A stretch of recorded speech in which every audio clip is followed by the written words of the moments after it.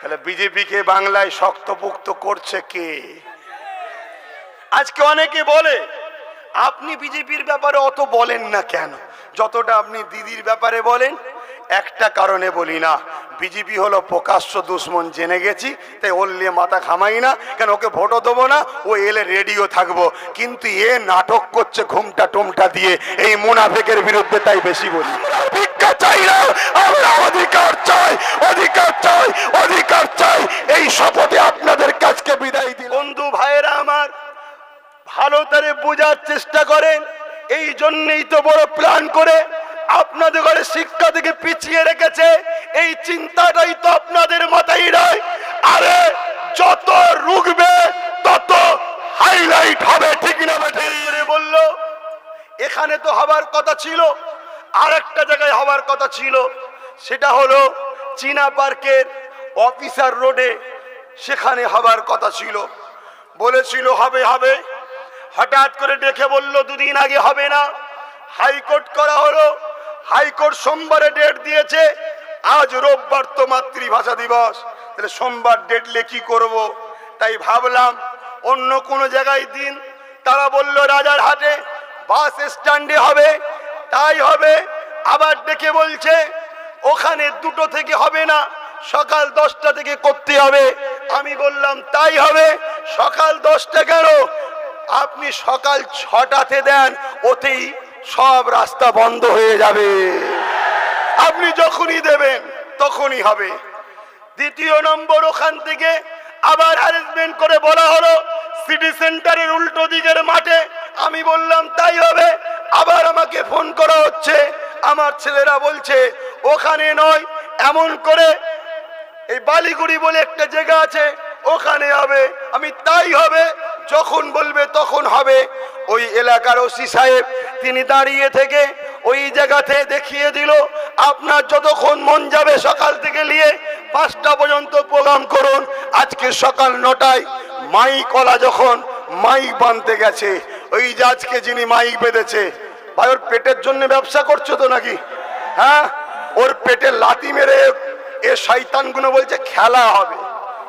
ওইখানে যে মাইক বানতে এলো সে বেচারির মাইকে তার ফার ফেলে দিল, তাকে দুটো চর্চাপড় মেরেছে, সে বেচারি জানলে পালিয়েছে, তার ব্যবসায়ী লস করল। যারা ব্যবসায়ী লস করে, গরিবের পেটে লাতি মারে, ওদের গদিতে আমরা লাতি মারতে পারব।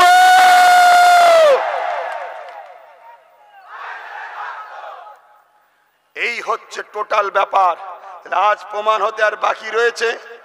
যে আমার বাংলার বিরোধী সরকার সরকার গণতন্ত্রের বিরুদ্ধে এই সরকার, এবং আপনারা হয়তো অনেকে বসে বসে ভাববেন, সব ঠিক আছে, বিজেপি চলে আসবে। আমি আপনাকে বলে দিই, প্রকাশ্য রাজপথের ওপরে রোড বন্ধ করে বিজেপি প্রোগ্রাম করছে, তার বেলায় বাধা হয়নি। এখন কেউ একজন বলতে পারে যে মিনা খাতে কয়েকদিন আগে কোন একজন বিজেপির গাড়ি ভেঙেছে। বন্ধু ভাইয়েরা আমার, ভালো করে বোঝার চেষ্টা করেন। এই জন্যই তো বড় প্ল্যান করে আপনাদের ঘরে শিক্ষা থেকে পিছিয়ে রেখেছে। এই চিন্তাটাই তো আপনাদের মাথায় নয় আরে, যত রুগবে তত হাইলাইট হবে, ঠিক না ঠিক আজকে মিনা খাতে যাদেরকে রুকলো মূলত রুকার মাধ্যম দিয়ে সেই ভাঙচুর করে ন্যাশনাল সব জায়গায় এবং বাংলার অলিতে গলিতে প্রমাণ করে দিল। কেন প্রমাণ করল? ওই এলাকায় যারা মারলো, তাদের নাম মুসলমান। অতএব মুসলমান বিজেপিকে মারছে।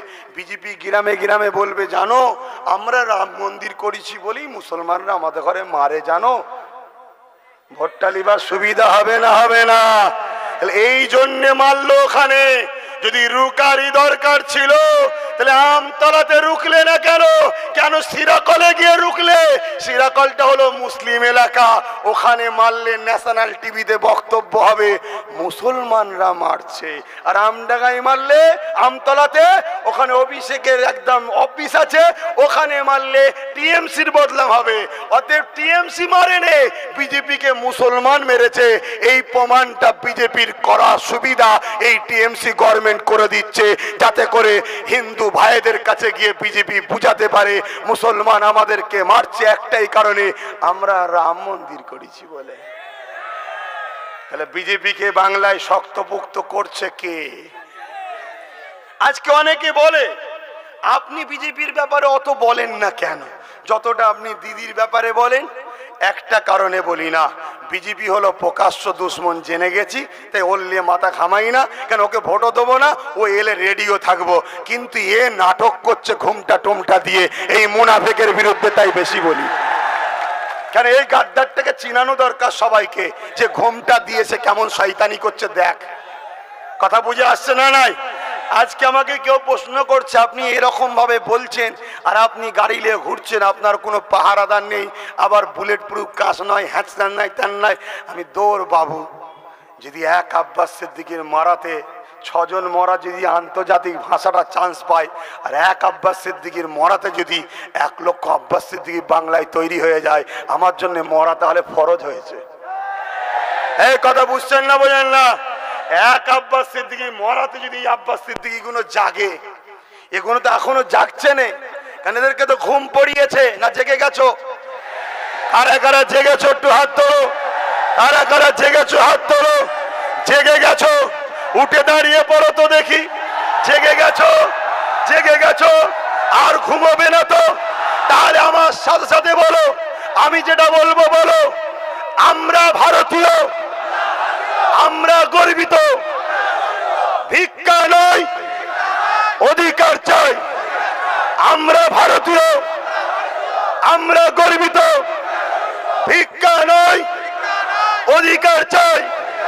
ভিক্ষা নয় অধিকার চাই। ভিক্ষা নাই। অধিকার চাই। আজ থেকে আমরা শপথ নেব তাহলে। আর আমরা কারও লাঠিয়াল হয়ে কাজ করব না। আমরা মালিক হব। কারও কারখানার গুলাম আর হতে রাজি নয়। আজকে আন্তর্জাতিক মাতৃভাষা দিবস। সেই মাতৃভাষা দিবসে যে ছয়জন বীর পুরুষ রক্ত দিয়ে আমার মাতৃভূমির বাংলা ভাষার গর্ব, সেই ভাষাকে যারা সংগ্রামী করে বাঁচিয়েছে এবং আন্তর্জাতিক খ্যাতিতে তারা পৌঁছে দিয়েছে, সেই বীর পুরুষদের আজকের একুশে ফেব্রুয়ারিতে দাঁড়িয়ে আজ আমরা অঙ্গীকারবদ্ধ হচ্ছি।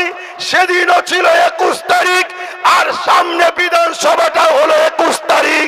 তারা বাংলা ভাষা বাঁচিয়েছে, আমরা বাংলার